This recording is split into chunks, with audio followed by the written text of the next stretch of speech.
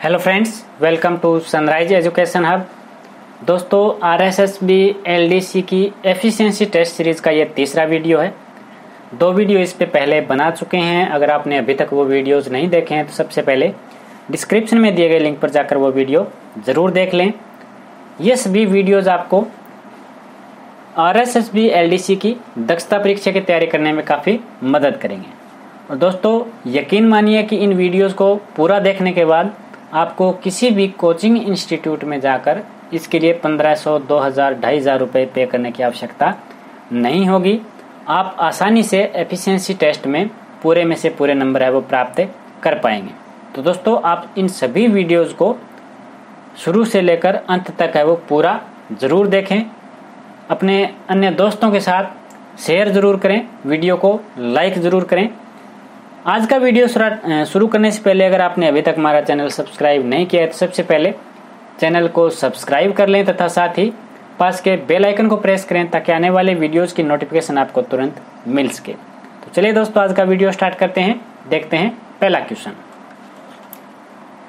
Question है, bold the word मंत्रालय wherever it occurs in the document document में जहाँ कहीं भी मंत्रालय शब्द आया है, उसे क्या करना है अपने? बोल्ड करना है। कई तरीके हैं इसके। पहला तरीका है कि आप इसको पूरे डॉक्यूमेंट में जहाँ भी मंत्रालय शब्द दिया हुआ है वो देखें और उसे बोल्ड करें। लेकिन इस तरीका का तरीके का यूज़ हम एग्ज़ाम में नहीं करेंगे, क्योंकि इसमें काफ़ी ज़्यादा समय लगता है और पूरी पूरी संभावना होती है कि इसमें आपका क्वेश्चन गलत हो सकता है, क्योंकि आप, हो सकता है कि कोई वर्ड आप अपनी आँखों से न देख पाए और वो छूट जाए। तो दूसरा तरीका कौन सा है? सबसे पहले कर्सर को वर्ड के, जो डॉक्यूमेंट के प्रारंभ में लेके जाएँगे और फिर हम फाइन टूल का यूज़ करेंगे। यहाँ अपने को इसमें क्या रखना है? मंत्रालय। अब सभी स्टूडेंट्स लगभग हर स्टूडेंट्स को ये दिक्कत आ रही थी कि सर हम इंग्लिश में तो सर्च कर पाते हैं, लेकिन हिंदी में वर्ड सर्च नहीं कर पाते हैं। क्योंकि जब भी यहाँ पे हम हिंदी में वर्ड लिखते हैं तो वो इंग्लिश की वर्ड में ही लिखा जाता है। लेकिन आपको चिंता करने की आवश्यकता नहीं है। आपको जो लिखना है, वो यहाँ पे हिंदी में आप लिखिए। तो हम क्या लिखेंगे यहाँ पे? मंत्रालय। जब मंत्रालय लिखते हैं तो इस प्रकार का आपके सामने लिखा जाता है। लेकिन चिंता करने की ज़रूरत नहीं है। आप जब इसके क्या करेंगे? फाइंड नेक्स्ट करेंगे। तो जहाँ भी मंत्रालय शब्द है, वो उसको यहाँ से सर्च कर लेगा। अब इसको क्या करेंगे हम? यहाँ से बोल्ड कर सकते हैं। फिर फाइंड नेक्स्ट पे करेंगे और यहाँ से इसे बोल्ड एक एक कर कर सकते हैं। लेकिन कुछ स्टूडेंट्स के कमेंट्स थे कि, सर, अगर डॉक्यूमेंट में बहुत ज़्यादा बार इस तरह का वर्ड यूज़ किया गया हो तो उनको सबको एक साथ है वो इस पे फॉर्मेटिंग कैसे अप्लाई करें? तो वो तरीका मैं आपको बताऊँगा आप, आपको क्या करना है? सबसे पहले डॉक्यूमेंट के स्टार्ट में कर्सर को लेके जाना है। फिर फाइंड के स्थान पर क्या है अपने को? रिप्लेस टूल का यूज़ करना है। यहाँ पे क्या लिखेंगे? मंत्रालय और रिप्लेस विद किससे? मंत्रालय से। तो यहाँ भी देखिए, अपने को वर्ड में कोई चेंज नहीं करना है तो वर्ड रखना है अपने को मंत्रालय, लेकिन इस पे क्या, इसे क्या करना है? बोल्ड बोल्ड अप्लाई करना है। तो यहाँ भी क्या लिखेंगे हम? मंत्रालय। और क्या करेंगे? फॉर्मेट फॉर्मेट में बोल्ड क्या होता है? फॉन्ट में। तो यहाँ से अपने इसको क्या कर देंगे? बोल्ड और ओके फिर यहाँ रखेंगे रिप्लेस ऑल तो word has completed its search of the document and has made five replacement तो यह पाँच बार इसको रिप्लेस किया गया है। तो आप देखेंगे तो जहाँ कहीं भी मंत्रालय शब्द है उसको यहाँ पे देख पा रहे हैं, ये देखिए। पाँच बार आया है और पाँचों बार इसको बोल्ड है, वो कर दिया गया है। ठीक है? अगला क्वेश्चन है highlight the word India wherever it occurs in the document document में जहाँ कहीं भी इंडिया वर्ड का उपयोग है, उसे क्या करना है? इंडिया को हाईलाइट करना है। कैसे करेंगे? एक तो वही मैनुअल तरीका, दूसरा है फाइंड और यहाँ पे क्या रखना है अपने को? India I N D I A India और फाइंड नेक्स्ट इस प्रकार यहाँ इसको हाईलाइट करेंगे। फिर फाइंड नेक्स्ट और यहाँ से हाईलाइट करेंगे। लेकिन इसमें भी वही समस्या है कि अगर काफ़ी ज़्यादा बार, देखिए दोस्तों, इसमें एक और ध्यान देने वाली बात है। अपने को सिर्फ़ इंडिया वर्ड हाईलाइट करना है, ठीक है? इंडियन नहीं करना है। अगर फाइंड नेक्स्ट से हम करते हैं तो देखिए क्या आता है। Find next India find next India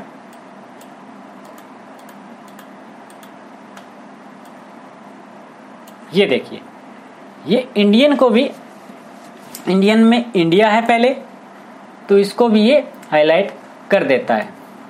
तो अपने को क्या है? इसको हाईलाइट नहीं करना है। इसके लिए हमें क्या करना है इस पर फाइंड होल वर्ड ओनली इस पर क्लिक करना है। तो ये सिर्फ़ इंडिया वर्ड को ही सर्च करेगा। अब फाइंड होल वर्ड पे क्लिक करने के बाद जब हम सर्च करते हैं तो ये देख पा रहे हैं आप इंडियन को सर्च नहीं करेगा। ठीक है? तो ये आप खास ध्यान रखें। तो इस प्रकार एक एक कर आप इसे हाईलाइट कर सकते हैं। दूसरा तरीका है कि आप डॉक्यूमेंट के प्रारंभ में जाएँगे। एक साथ सभी को एक साथ हाईलाइट करना हो तब। फिर फाइंड फाइंड में आप इंडिया लिखेंगे होल वर्ड ओनली और रीडिंग हाईलाइट्स इस पे आप देखेंगे तो ये हाईलाइट ऑल इस पे क्लिक करेंगे तो ये आप देख पा रहे हैं जहाँ कहीं भी इंडिया वर्ड का यूज़ हुआ है वो सारे हाईलाइट हो चुके हैं। तो ये एक साथ है वो, इस पे अप्लाई कर सकते हैं। आपके समझ में आ गया होगा। अगला क्वेश्चन है change the size of word word to twenty in the document document में जहाँ कहीं भी वर्ड शब्द का यूज़ हुआ है, उसका फोंट साइज़ अपने को क्या करना है? 20 कैसे करेंगे? सबसे पहले डॉक्यूमेंट के प्रारंभ में जाएँगे। एक तरीका कि आप फाइंड और यहाँ पे क्या लिखेंगे? वर्ल्ड होल वर्ल्ड ओनली फिर इसको फाइंड नेक्स्ट वर्ड यहाँ से क्या करना है इसका? फॉन्ट साइज़ ट्वेंटी ठीक है? एक तो ये तरीका हो गया। दूसरा तरीका वही कि अगर एक साथ करना हो सबको तो क्या करेंगे? डॉक्यूमेंट के प्रारंभ में कर्सर को लेके जाएँगे और रिप्लेस टूल का यूज़ करेंगे। यहाँ पे क्या लिखेंगे? वर्ड यहाँ पे क्या करना है अपने को? रिप्लेस किससे करना है? वर्ड से ही करना है तो। क्योंकि रिप्लेस तो वर्ड को तो रिप्लेस करना नहीं है। क्या करना है हमें? इस पे फॉन्ट साइज़ चेंज करना है तो यहाँ पे भी वर्ड लिखेंगे। और ध्यान रखिए फाइंड होल वर्ड ओनली इस पे आपको चेक ज़रूर करना है। फिर फॉर्मेट में जाएँगे और यहाँ से फॉन्ट फॉन्ट में फॉन्ट साइज़ क्या रखना है इसका? ट्वेंटी कर देंगे और ओके कर देंगे। फिर रिप्लेस ऑल तो word completed its search for uh, of the document and has made two replacements दो बार ये वर्ड यूज़ हुआ है डॉक्यूमेंट में और दोनों बार इसको रिप्लेसमेंट कर दिया गया किससे? फॉन्ट साइज़ 20 से। तो आप यहाँ पे देख पाएँगे, ये रहा। इसका फॉन्ट साइज़ 20 हो गया और इसका फॉन्ट साइज़ 20 हो गया। इस प्रकार अगर कितने भी बार वर्ड यूज़ यूज़ किया गया हो, एक साथ इसको चेंज कर सकते हैं। अगला क्वेश्चन है, underline the thirtieth line in the document. Document में जो तीसवीं लाइन है, उसको अंडरलाइन करना है। कैसे करेंगे? गिनेंगे। एक दो तीन चार पाँच छः तो तीस तक पहुँचेंगे। अगर आपको ऐसा बड़ा डॉक्यूमेंट और इसमें दे दिया जाए कि सौवीं लाइन का अंडरलाइन करेंगे तो आप सौ तक गिनेंगे तो इसमें दस मिनट निकल जाएँगे। और आपको एग्ज़ाम में मिलने हैं सिर्फ़ दस मिनट ही। तो आप कैसे करेंगे इसको? डायरेक्ट। तो देखिए वही तरीका। क्या कर, ए, यूज़ करेंगे? ये देखिए फाइंड। फाइंड के सामने जो ये टिक है इस पर क्लिक करेंगे। यहाँ पे आपके सामने दो ऑप्शन आ रहे हैं फाइंड और गो टू तो गो टू पे जाएँगे यहाँ पे आपको इसमें तीनों ऑप्शन है फाइंड रिप्लेस और गो टू गो टू में अगर जाए गो टू वाट तो यहाँ पे page section line bookmark comment footnote तो यहाँ पे अपने को क्या करना है, तीसवीं लाइन पे जाना है तो यहाँ पे रखेंगे लाइन और यहाँ पे क्या लिख देंगे? इस बॉक्स में तीस और गो टू तो आप ये डायरेक्ट है वो, बिना गिने इस पे तीसवीं लाइन पे आ चुके हैं। अब क्या करना है इसको? अंडरलाइन करना है। तो इसको माउस की सहायता से लेफ़्ट क्लिक को प्रेस करते हुए इसे सिलेक्ट कर लेंगे। एक तो ये तरीका है।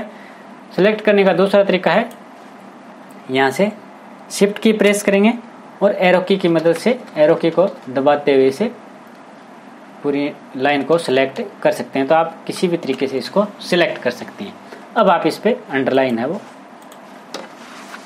कर देंगे इसे। नेक्स्ट क्वेश्चन है। Replace the all Veriton word into Veritons in the document document में जहाँ कहीं भी वेरिटर्न वर्ड है, उसको वेरी वेरिटर्न से रिप्लेस करना है। कैसे करेंगे? तो डॉक्यूमेंट के प्रारंभ में जाएँगे, फिर रिप्लेस टूल का यूज़ करेंगे। यहाँ पे अपने को क्या लिखना है? Veriton V E R I T O N replace what तो क्या यहाँ पे? वेरिटोन से तो V E R I T O N S जिससे रिप्लेस करना है। यहाँ पे देखिए क्या करना है? Find word find whole word only और जब आप रिप्लेस करेंगे तो क्या करना है? रिप्लेस विद वेरी टर्न्स ठीक है? और replace all word has completed its search of the document and has made three replacements ठीक है? और ओके okay. तो आप जहाँ कहीं भी वेरी टेंस वर्ड है, वो वेरी टर्न्स में इसमें चेंज कर दिया गया है। नेक्स्ट क्वेश्चन है underline all word like similar formatting of a second paragraph second paragraph में जो फॉर्मेटिंग है, उसी फॉर्मेटिंग की तरह जो वर्ड हैं, उनको अंडरलाइन करना है। ठीक है तो? देखिए यहाँ इस पैराग्राफ में अलग फॉर्मेटिंग है, इस पैराग्राफ में अलग फॉर्मेटिंग है। तो कैसे करेंगे? अब पूरे डॉक्यूमेंट में जो इस प्रकार की जो सेकंड पैराग्राफ की तरह फॉर्मेटिंग है उन वर्ड को अपने को क्या करना है? अंडरलाइन करना है। तो कैसे? सेकंड पैराग्राफ ये है, इसमें कर्सर को कहीं भी लेके जाएँगे। फिर क्या करेंगे अपने को? सिलेक्ट करना है। Select select text with similar formatting पे ओके करेंगे। तो ये जिस पर पैराग्राफ में ये फॉर्मेटिंग है, जिस वर्ड पे, वहाँ पे ये हाईलाइट हो जाएँगे। तो आप यहाँ पे देख पा रहे हैं ये डॉक्यूमेंट में सिर्फ़ इतने पे ये फॉर्मेटिंग है। अब इसको क्या करना है? अपने को यहाँ से अंडरलाइन कर देना है तो अंडरलाइन कर देंगे। दोस्तों, एक ध्यान देने वाली बात है, और बताता हूँ। जैसे कि अपने को इसमें जो वर्ड है आवर आवर इसको अपने आवर्स में चेंज करना है, और क्या करना है इसको? फ़ोन साइज़ है वो ट्वेंटी करना है। तो कैसे? रिप्लेस यहाँ पे क्या रखेंगे? आवर। O U R. और चेंज किसमें करना है अपने को? O U R S.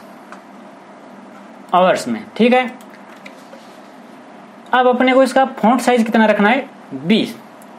रख, ध्यान रखिए इसमें अपने को फॉन्ट साइज़ बीस रखना है। तो अब अब आगे आप फॉर्मेट में जाएँगे तो कर्सर क्या है? यहाँ पे होना चाहिए। अगर हम कर्सर यहाँ पे रखते हैं और फिर क्या करते हैं? फॉन्ट और यहाँ से ट्वेंटी करते हैं और ओके करते हैं। तो आप देख पा रही इस पे अपने को ट्वेंटी करना था, लेकिन यहाँ पे फॉर्मेट अप्लाई किस पे हो गया? इस पे। तो ऐसे नहीं करना है अपने को, क्या रखना है? इसमें ही कर्सर को रखना है। तो ये ध्यान है, ज़रूर रखें और फिर यहाँ से इसको ट्वेंटी कर दें। ओके? रिप्लेस ऑल तो ये एक बार आया, इसको आवर्स कर दिया गया तो ये आप यहाँ पे देख रहे हैं ओवर की जगह आवर्स हो गया तो दोस्तों, उम्मीद करता हूँ कि आपको ये वीडियो में जो क्वेश्चन कराए हैं, वो अच्छी तरीके से समझ में आ गए होंगे। फिर भी अगर आपको किसी प्रकार का डाउट हो तो मुझे कमेंट बॉक्स में लिख सकते हैं। मैं लास्ट में वीडियो में इसको क्लियर करवा दूँगा।